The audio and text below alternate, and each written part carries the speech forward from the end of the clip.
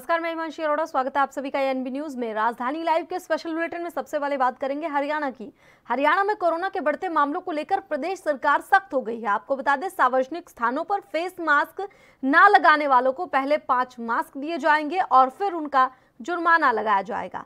तो ये निर्देश मुख्यमंत्री योगी आदि माफ़ कीजिए, मुख्यमंत्री मनोहर लाल ने हरियाणा के सीएम ने। सोमवार को प्रशासनिक अधिकारियों के साथ ये बैठक की। सचिवों के साथ बैठक में प्रदेश में कोविड 19 स्थिति के संबंध में समीक्षा बैठक के दौरान सीएम मनोहर लाल खट्टर ने अधिकारियों को निर्देश दिए कि कोविड एप्रोप्रिएट व्यवहार का अनुपालन सुनिश्चित करने और कोरोना वायरस का प्रभावी ढंग से मुकाबला करने के लिए सक्रिय रणनीति तैयार की जाए। मनोहर लाल ने प्रदेश के लोगों से मास्क पहनने की अपील करते हुए कहा, हालाँकि कोरोना वैक्सीन रोल आउट का अभियान चल रहा है, लेकिन हमें मास्क पहनने और सोशल डिस्टेंसिंग के सभी दिशा निर्देशों का पालन करते रहना है। तो बता दें कि कोरोना के बढ़ते मामलों को लेकर हरियाणा सरकार सख्त हो चुकी है। सीएम मनोहर लाल खट्टर ने ये बैठक की है, प्रशासनिक सचिवों के साथ, और आदेश दे दिए हैं कि किसी भी प्रकार से लापरवाही ना बरती जाए। सोमवार को प्रशासनिक सचिवों के साथ प्रदेश में कोविड 19 की स्थिति के संबंध में ये समीक्षा बैठक, जिस दौरान सीएम मनोहर लाल खट्टर ने ये आदेश दिए हैं, अधिकारियों को निर्देश दिए हैं कि कोविड एप्रोप्रिएट व्यवहार का अनुपालन सुनिश्चित करने और कोरोना वायरस का प्रभावी ढंग से मुकाबला करने के लिए सक्रिय रणनीति तैयार की जाए। आपको बता दें कि अब जो भी बिना मास्क के दिखाई दिया जाएगा कि उस पर जुर्माना वसूला जाएगा, जुर्माना लगाया जाएगा, यानी कि मास्क पहनना अब अनिवार्य और इस पर सख्ती से ध्यान दिया जा रहा है। जुर्माना वसूला जाएगा, पहले पाँच मास्क दिए जाएँगे। और ज़्यादा जानकारी देने के लिए हमारे साथ संवाददाता अभिषेक जुड़ गए। अभिषेक, आपसे जानना चाहेंगे, कोरोना का कहर लगातार जारी है। हर राज्य में कोरोना का कहर देखने को मिल रहा है। तो हरियाणा सरकार की ओर से क्या कुछ और गाइडलाइंस जारी की गई हैं या फिर किस प्रकार से सख्ती बरती जा रही है? जी, बिल्कुल देखिए हरियाणा में भी जो है कोरोना के जो केस है, उनमें इजाफा हो रहा है। हाँ हालाँकि ये अन्य राज्यों की तरह यहाँ, उस उस संख्या में यहाँ पर कोरोना के जो केस है वो नहीं बढ़ रहे हैं, लेकिन उसके एहतियात के तौर पर हरियाणा सरकार की ओर से या कहें स्वास्थ्य विभाग की ओर से पूर्ण रूप से तैयारियाँ कर ली गई हैं। कल जो है कोरोना वैक्सीन के जो तीसरे चरण की जो शुरुआत है, वो सोमवार से कर दी गई है। स्वास्थ्य मंत्री जो एवं गृह मंत्री जो अनिल विजय उनके द्वारा ये की गई है। इसमें साठ वर्ष से अधिक और जो पैंतालीस वर्ष के जो गंभीर बीमारियों से जो पीड़ित लोग हैं, उनको जो है ये वैक्सीन दी जाएगी। इसके लिए जो है जो सरकार सरकारी अस्पतालों और आयुष्मान भारत योजना के पैनल पर जो तीन निजी अस्पतालों में कोरोना का जो टीका, वो लगाया जाएगा। इसके लिए जो है जो प्राइवेट हॉस्पिटल्स हैं, उनके लिए मूल्य भी निर्धारित कर दिया गया है, जिसमें ढाई सौ रुपए रखा गया है। इसमें डेढ़ सौ रुपए जो है सरकार को दिया जाएगा और सौ जो, रुपए जो है वो निजी अस्पताल अपने पास जो इसका टीकाकरण का जो कार्य करेगा, उसके एवज में वो रख सकता है। तो इस तरह के जो प्रावधान अब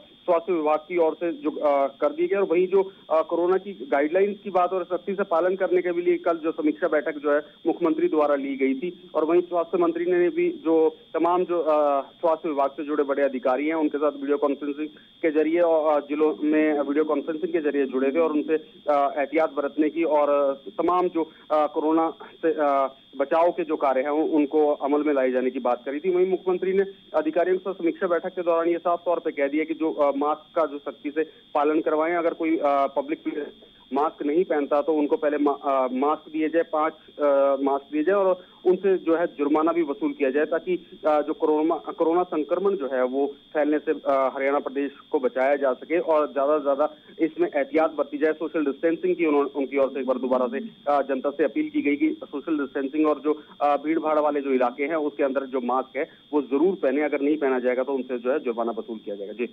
अभिषेक, लोग जो हैं सभी नियमों का पालन करें और कोविड नियमों की गाइडलाइंस का पूरे तरीके से पालन हो, इसको लेकर प्रशासन की ओर से क्या कुछ कदम उठाए जाएँगे? क्या विशेष कुछ कदम सरकार की ओर से उठाए जा रहे हैं, पुलिस की ओर से उठाए जा रहे हैं? पुलिस का क्या कहना है? क्योंकि लापरवाही जनता के साफ़ तौर पर दिखाई दे रही है।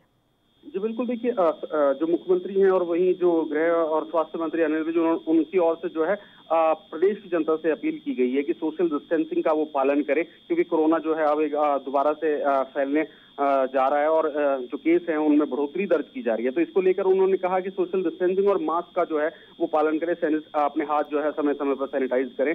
और जो मास्क है, अगर जिन जो पुलिस को हिदायत दी गई और जिला प्रशासन को ये हिदायत जारी कर दी गई है कि जो भी मास्क नहीं पहनता, बाहर अगर निकलता है और मास्क नहीं पहना पाया जाता तो उसको पहले पाँच जो मास्क फ्री दिए जाएँ और उसके, और साथ ही उसके साथ जो है जुर्माना उससे वसूला जाए ताकि उसको ये सबक रहे, उसको ये एहसास हो कि जो मास्क है वो ज़रूरी है और उसको आगे जो इस तरह की जो लापरवाही है वो ना बरते। तो इस तरह की जो समीक्षा बैठक है, कल मुख्यमंत्री के द्वारा जो अपने तमाम जो बड़े अधिकारी हैं उनके साथ कोरोना को लेकर की गई और वहीं स्वास्थ्य मंत्री जो है और गृह मंत्री अनिल विजय उन्होंने भी तमाम जिलों के जो सीएमओज है या स्वास्थ्य विभाग से जुड़े जो अधिकारी हैं, उनके साथ वीडियो कॉन्फ्रेंसिंग के ज़रिए तमाम जानकारी ली और एहतियात बरतने की उनके साथ उनको हिदायत जारी की गई है जी। अभिषेक, कोविड लैब्स के बारे में जानना चाहूँगी, क्या वो सुचारू तौर पर चल रही हैं? और दूसरी ओर, कल जब टीकाकरण अभियान के नए फ़ेज़ की शुरुआत की गई तो आम जनता वहाँ पर 60 वर्ष से अधिक के बुज़ुर्ग दिखाई दिए। 45 वर्ष से ऊपर के जो बीमारी से ग्रसित है, वो व्यक्ति वहाँ पर पहुँचे। तो उन लोगों का क्या कहना है? टीकाकरण करवाने के बाद उन्हें कैसा लगा? और व्यवस्था किस प्रकार से की गई है सरकार की ओर से? लैब जो है सुचारू रूप से जो टेस्टिंग जो लैब्स हैं, जो कोविड का टेस्ट करती हैं, वो सुचारू रूप से प्रदेश में, तमाम उसमें जो एहतियात की बात करें या फिर सुविधाओं की बात करें या उन, पूरा, पूर्ण रूप से तैयार हैं और उनमें जो टेस्टिंग जारी है और वहीं जो कल सोमवार से जो तीसरे चरण की जो शुरुआत होगी, उसमें साठ साल से ऊपर के जो बुज़ुर्ग हैं और वहीं जो 45 साल के जो व्यक्ति जिसको गंभीर बीमारी है, शुगर आदि लेवल जिनका उच्च है, उन उन ऐसे जो मरीज़ या ऐसे जो व्यक्ति उनको जो है कोरोना का टीका जो है लगाया जा रहा है, ये तीसरे चरण में उनकी, उन ऐसे व्यक्तियों को टीका लगाया जाएगा और इस बार जो है निजी जो अस्पताल है, जो पैनल पे केंद्र सरकार के या राज्य सरकार के, उन तमाम जो अस्पताल है, उनमें जो है टीकाकरण लगाया जाएगा। उसके लिए मूल्य भी निर्धारित कर दिया गया कोई भी जो व्यक्ति है, इनमें से जाए और ढाई सौ रुपये वहाँ पर पे करके वो वैक्सीन जो है, वो लगवा सकता है और उसमें डेढ़ सौ रुपये जो है, वो सरकार के खाते में जाएँगे और सौ रुपये जो है, वो अस्पताल अपने फ़ीस के तौर पर जो है वसूल करेगा। तो इस तरह की जो अब व्यवस्था जो है राज्य सरकार, केंद्र सरकार की ओर से कर दी गई है कि जो साठ साल के ऊपर का जो है व्यक्ति उसको तीसरे चरण में लेते हुए जो कोरोना की जो वैक्सीन का जो टीकाकरण अभियान है, वो सोमवार से शुरुआत कर दी जी। अभिषेक, प्रदेश में अब स्कूल कॉलेजेस भी खुल गए हैं और ये कहा जा रहा है कि ये सुनिश्चित होना चाहिए कि कोरोना नहीं है, क्योंकि मामले लगातार सामने आ रहे तो बच्चों के लिए या फिर छात्र छात्राओं के लिए, जो कॉलेज के, जो स्कूल के, उनके लिए क्या कोई नई गाइडलाइंस किसी प्रकार से स्कूल प्रशासन को कुछ एहतियात बरतने को और सख्ती से पालन करने के निर्देश दिए गए हों? इस बैठक में कुछ चर्चा हुई हो स्कूल को लेकर।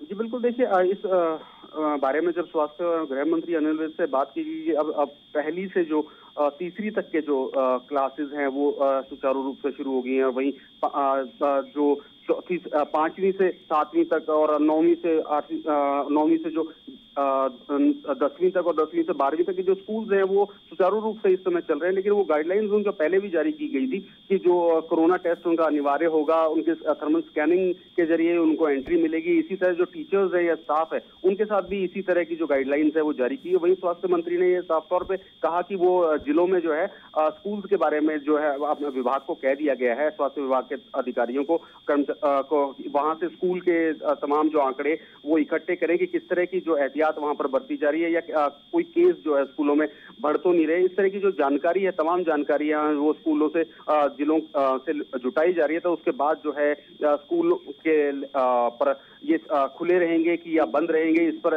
विचार विमर्श किया जाएगा। उसके बाद ही जो है, एजुकेशन डिपार्टमेंट के साथ या एजुकेशन मंत्रालय के साथ बातचीत करके इस पर फैसला लिया जाएगा। लेकिन जो तमाम जो गाइडलाइंस है, उनका पालन करवाने के लिए स्कूलों को कहा गया है कि स्कूल में जो भी बच्चे हैं, उनका जो है जो टेस्ट है कोविड टेस्ट वो करवाएँ और उनकी थर्मल स्कैनिंग करने के बाद ही अगर किसी को फीवर नहीं होता तो ही उसकी स्कूल में रोज एंट्री हुई है। अगर किसी का टेम्परेचर बढ़ा होता है तो उसको स्कूल में एंट्री ना दी जाए। इस तरह की जो एहतियात है, वो बढ़ती जा रही है और जो उस पर फैसला जो है, वो जब तमाम जो जानकारियाँ विभाग स्वास्थ्य विभाग जुटा लेगा उसके बाद शिक्षा मंत्रालय के साथ चर्चा करने के बाद कुछ फैसला लिया जाएगा जी। बिल्कुल अभिषेक। जिस तरह से बाकी के राज्यों में कोरोना के तमाम मामले सामने आ रहे हैं मुंबई महाराष्ट्र में इस वक्त हालत बहुत खराब है। तो हरियाणा के बारे में जानना चाहेंगे वहाँ पर रिकवरी रेट क्या कुछ है कोरोना का?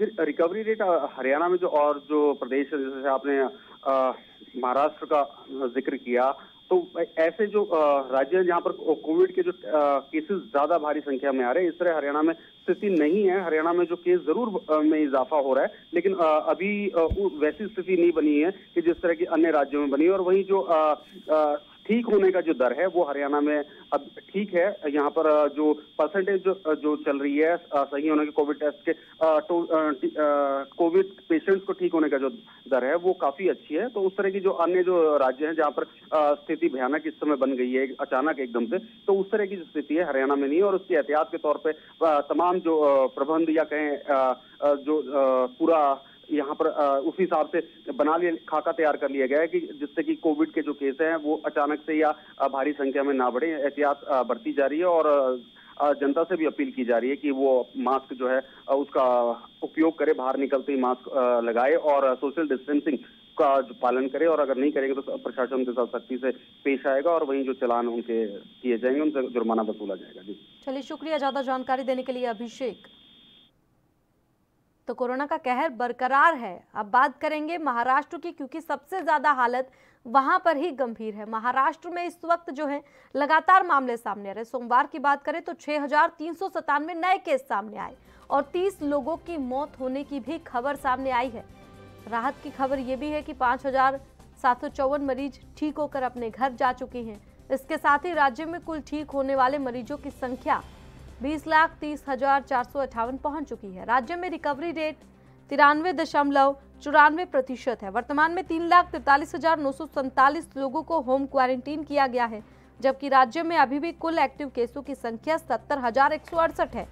मुंबई में आठ सौ पचपन नए मामले सामने आए हैं। मुंबई में सोमवार को कोरोना की चपेट में आने से चार लोगों की मौत हो गई। बता दें कि देश भर में सोमवार को हज़ारों लोग टीका लगवाने के लिए लाइन में नज़र आए।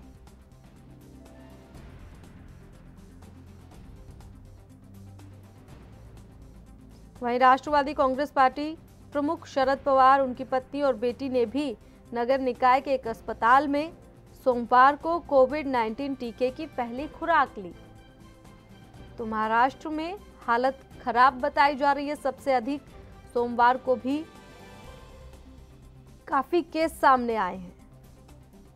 लगातार ये आंकड़ा बढ़ता ही जा रहा है। महाराष्ट्र की हालत खराब, वहाँ पर लोगों से लगातार ये आग्रह किया जा रहा है कि सोशल डिस्टेंसिंग का पालन करें, मास्क ज़रूर लगाएँ, हैंड सैनिटाइज करें और सबसे ज़रूरी सोशल डिस्टेंसिंग का पालन ज़रूर करें, क्योंकि आम जनता की लापरवाही के चलते ही लगातार कोरोना के मामले सामने आ रहे हैं। हालाँकि भारत के पास वैक्सीन है, जिसका सफल टीकाकरण चल रहा है। कल नए फ़ेज़ की शुरुआत हुई। प्रधानमंत्री ने खुद टीका लगवाया।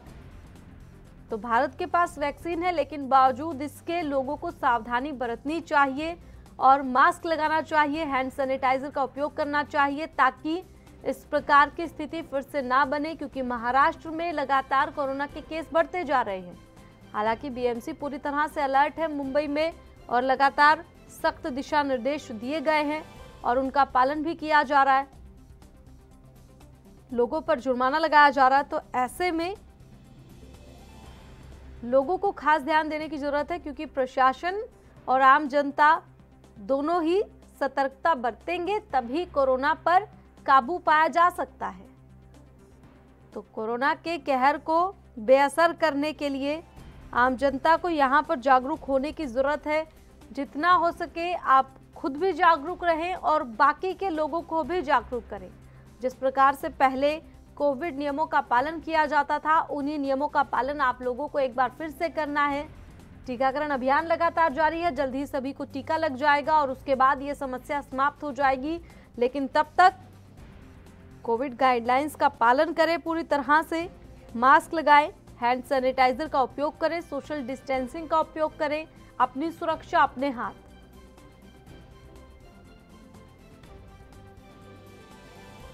ज़्यादा जानकारी देने के लिए हमारे साथ सत्यप्रकाश सोनी लाइव जुड़ चुके हैं। सत्यप्रकाश, आपसे जानना चाहेंगे कि महाराष्ट्र में सबसे ज़्यादा हालत खराब है कोरोना की वजह से। फ़िलहाल अपडेट आपसे जानना चाहेंगे, रिकवरी रेट क्या चल रहा है, कितने नए केस सामने आए? सही केरल में जिस तरह से लगातार कोरोना संक्रमण बढ़ते देख, सरकार लगातार लड़ाई में लगी हुई है। जिस तरह से कल जो है कोविन वैक्सीन 2.0 का जो है आगाज़ किया गया। पहला दिन था, पहले दिन ही लोगों में काफ़ी उत्साह देखा गया, लोग बढ़ चढ़ के हिस्सा लिए।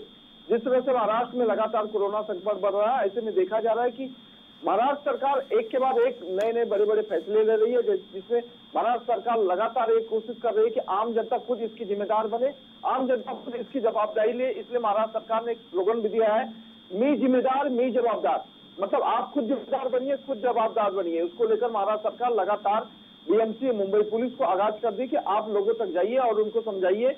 और वैक्सीन के अलावा जब तक लोगों को वैक्सीन नहीं ले जाती, तब तक आप मास्क के बारे में बताइए, सोशल डिस्टेंस के बारे में बताइए, उसको लेकर लगातार जागरूकता अभियान चलाया जा रहा है। वही जिस तरह से देखा जा रहा है कि महाराष्ट्र में कोरोना संक्रमण के चलते करीब दर्जन भर रोज जो है मौतें सामने आ रही है। ऐसे में रिकवरी रेट की अगर बात करें कि करीब 80 से बयासी परसेंट जो है रिकवरी रेट है, जबकि मृत्यु दर की अगर बात की जाए तो 3.4 से लेकर 4.0 तक चल रही है। कहीं ना कहीं जो पिछला जून महीना था, पिछला जो जुलाई महीना था, उससे भी ज़्यादा बेहतर हालात है। लेकिन सरकार लड़ने के लिए पूरी तरह से तैयारी में है। सरकार पूरी कोशिश कर रही है कि बिना लॉकडाउन के अलावा भी इस पूरी लड़ाई में शामिल हुआ राजा। सत्य प्रकाश हज़ारों में रोज कोरोना के केस सामने आ रहे हैं। हालाँकि वैक्सीन है, सब तक पहुँच जाएगी जब तो उस वक्त तो समस्या समाप्त हो जाएगी, लेकिन तब तक लोगों को खास ध्यान देने की ज़रूरत यहाँ पर है। आम जनता से अगर आपकी बातचीत होती हो तो जहाँ पर इस प्रकार से कड़ाई से पालन नहीं हो रहा होता कोविड नियमों का, आप बाज़ार में जाते होंगे, वहाँ पर स्थिति आपको कैसे देखने को मिलती है? क्या लोग वाकई अब सतर्क हो रहे हैं या अभी भी वैसे की वैसे ही चल रहा है? देखिए मानसून मुंबई शहर है, रोज़मर्रा की ज़िंदगी के लिए लोग अपने घरों से बाहर निकलते हैं। ऐसे में लोगों की जिम्मेदारियाँ ज़रूर है, लेकिन कोरोना को लोग भूल कर अब काम पे ध्यान देते हैं, क्योंकि जिस तरह से हालात पिछले आठ नौ महीने रहे हैं, उससे लोग बिल्कुल परेशान हो चुके हैं। ऐसे में लोगों का साफ़ तौर पर यही कहना है कि कोरोना हो ना हो, लेकिन रोजी रोजी चलनी चाहिए, रोजी ज़िंदगी चलनी चाहिए। ऐसे में सिर्फ़ एक ही उपाय सरकार के पास है कि सरकार और कड़े कदम उठाए, सरकार और जो फाइन मानने की परमिशन है, या फिर जो और करे, जो प्रतिबंध है, वो लगाए, शायद यही वजह हो सकती है। बाकी दूसरी कोई वजह नज़र नहीं आती।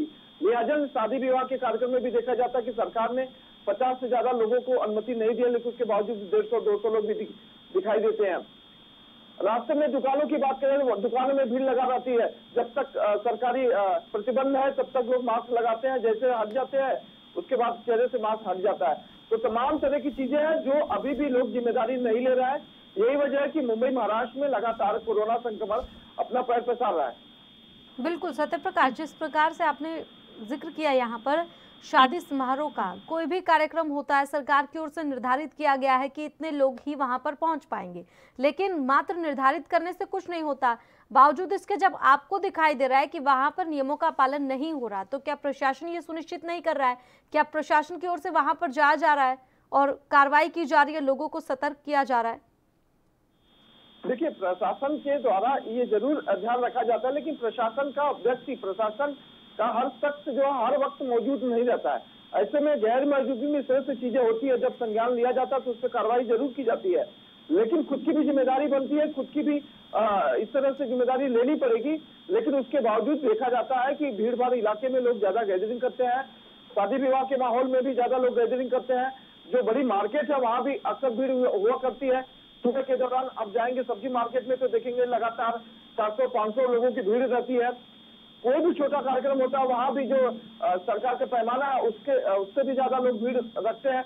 तो ऐसे में सरकार की जिम्मेदारियाँ तो ज़रूर बनती है, लेकिन आम जनता की भी ज़िम्मेदारी बनती है। हिमांशी आपको सबसे अहम बात बता दें कि जिस तरह से मुंबई की लोकल चालू कर दी गई है, अब आप देखेंगे मुंबई की लोकल के हालात सुबह के देखेंगे तो आपको लगेगा नहीं कि लॉकडाउन का जो दौर आने वाला है या फिर इस तरह से कोरोना संक्रमण मुंबई महाराष्ट्र में है।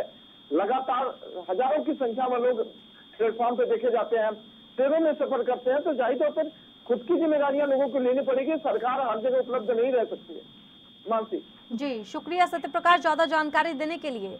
तो अपनी सुरक्षा, अपने हाथ लोगों को खास तौर पर यहाँ ध्यान देने की ज़रूरत है कि उन्हें कोविड नियमों का पालन करना है, क्योंकि बिना नियमों का पालन करे, वो अपनी ही सुरक्षा पर सवाल खड़े कर रहे हैं और अपनी सुरक्षा को ही दाव पर लगा रहे हैं। तो ऐसे में अपनी सुरक्षा, अपने हाथ, इसी के साथ लोगों को कोविड नियमों का पालन करना है, मास्क ज़रूर लगाना है, हैंड सैनिटाइजर का उपयोग करना है। इसी के साथ रुक करते हैं अगली खबर की ओर। बाहरी दिल्ली के नांगलोई फाटक के पास दिन दहाड़े कई राउंड फायरिंग से इलाके में हड़कंप मच गया है। हमलावरों ने कई राउंड फायरिंग कर दो लोगों को गोली मारकर मौत के घाट उतार दिया है। घायलों को नज़दीक के संजय गांधी हॉस्पिटल में भर्ती कराया गया, जहाँ डॉक्टरों ने दो लोगों को मृत घोषित कर दिया। हॉस्पिटल में रोते बिलकते ये सलीम और जाकिर के परिजन हैं, जिनकी गोली मारकर हत्या कर दी गई। परिजनों ने हत्या का आरोप नदीम शकील रहीस और अन्य पर लगाया है, जो कि घटना के बाद घटनास्थल से फरार चल रहे हैं। मामले में पुलिस ने कहा है कि जाँच लगातार की जा रही है।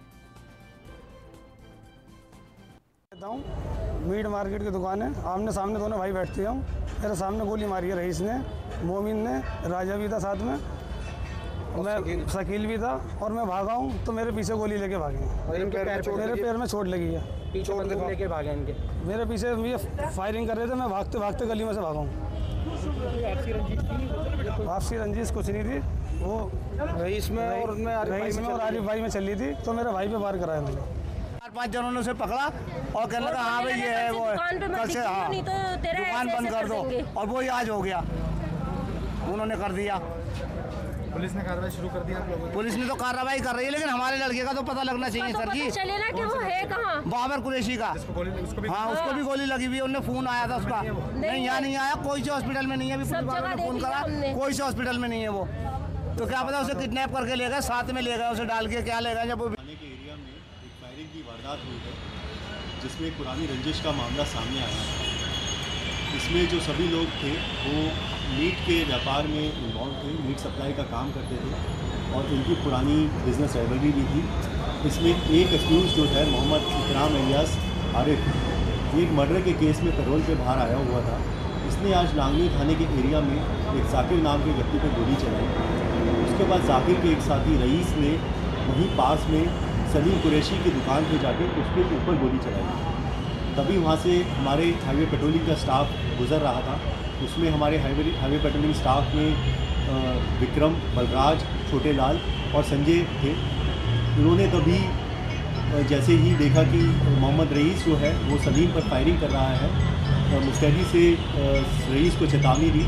तभी रईस ने हमारे हाईवे पेट्रोलिंग स्टाफ को तीन राउंड फायर किए और हमारी तरफ़ से भी हमारे लड़कों ने एक ब्रीफ एक्सचेंज ऑफ़ फायर किया और बड़ी ही बहादुरी दिखाते हुए रईस को रईस को धरदबोश किया, रईस को पकड़ लिया। इस मामले में फर्दर फर्दर इन्वेस्टिगेशन चल रही है। और ज़्यादा जानकारी देने के लिए हमारे साथ संवाददाता राजीव जुड़ गए। राजीव, आपसे जानना चाहेंगे, पूरा मामला विस्तार से बताइए। बिल्कुल भाई जिस तरीके से बदमाशों के जो हौसले हैं, वो दिल्ली के अंदर बिल्कुल बुलंद होते जा रहे हैं। वो पुलिस का बिल्कुल विकल्प नहीं है। वारदात जो है, वो नागलोई इलाके की है, क्योंकि नागलोई इलाके के पास फाटक है, रेलवे फाटक है।